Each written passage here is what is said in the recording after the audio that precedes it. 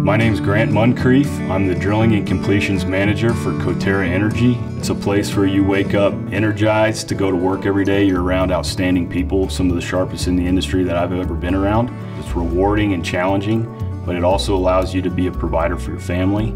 This has been an industry that has been demonized at times by the public and not understood.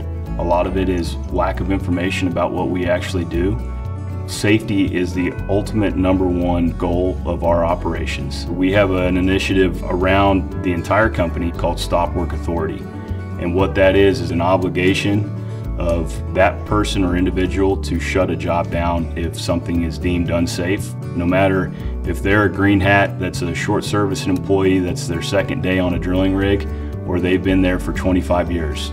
Everybody shares that same responsibility because ultimately none of these wells that we drill are more important than being able to function as a human and a family member after you leave the job. So, you know, I'm proud to say that I can go to bed at night knowing that the wells that I'm helping drill and the people that I'm working alongside, we're doing it the right way that they're going to be usable wells for the long term.